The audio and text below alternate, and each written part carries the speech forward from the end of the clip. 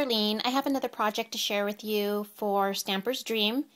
Uh, as you know, I'm part of the Dream Team, and so I completed another project.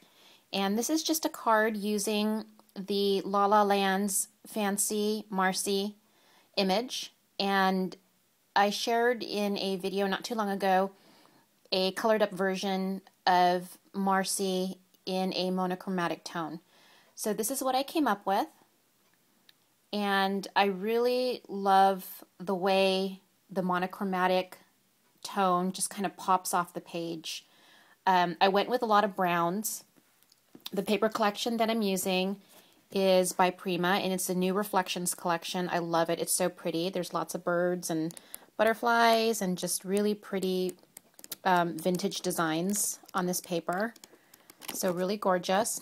Let me tell you a little bit about the card. so this is the cover.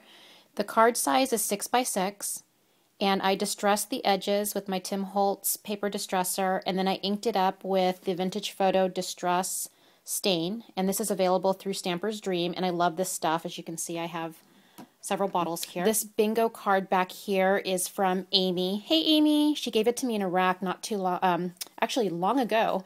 I want to say several, several, several months this ago. This little doily in the back here is from the paper collection. I just cut it out. And then this tag here is a K & Company uh, tag from, I believe it's the Wild Saffron collection. And then what I did is I stamped part of a sentiment. It says, a friend is one of the nicest things. And that is from a stamp set that I purchased off of the Stamper's Dream website, and this is by Impression Obsession. And the title of the, or what it's called, is True Blue Friend. And what I did is I took this sentiment right here, but I only stamped up a friend is one of the nicest things, and that way I could fit it onto my little tag here. And then, of course, um, Fancy Marci. Um, I had purchased this image quite some time ago, but you can buy the cling mount rubber stamp through Stamper's Dream. And this, again, that's Fancy Marci. I'll have the product supplies listed out on my blog in case you're wanting to know what I used here. And I used my um, W's, my, my W family Copic markers. And I used W00, W01, 3, and 6. So that's what I used to color her up, and so much fun, you guys. I love monochromatic. It's just a it's just a blast shading in the um, the shadows and everything, and it's good practice too. And then over here I have some brown seam binding. Um, I do have brown, black, and white seam binding. This one I did not hand dye myself. I just used my brown one. What I like to do is hand crinkle it. So I just take my mini mister and spritz it with a little bit of water, and then I just scrunch it up.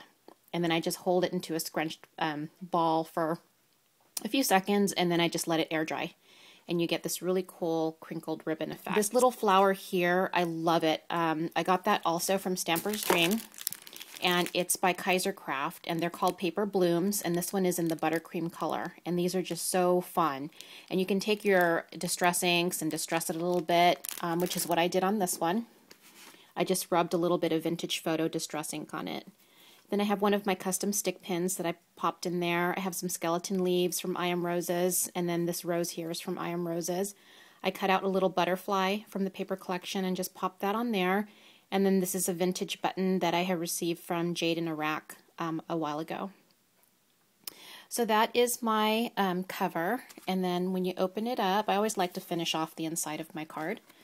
Um, I layered on some more of the design paper and then I cut out an image from the design paper. There's actually some journaling cards in the design paper, which is really nice. And then I cut out one of the butterflies and popped it up.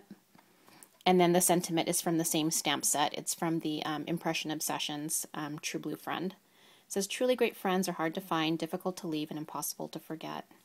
So that is my latest project for Stamper's Dream. I have an altered Maya Road tray that I'm working on as well, and I should have that out on video later this week. So thanks for watching, everyone. Enjoy your Sunday. Bye.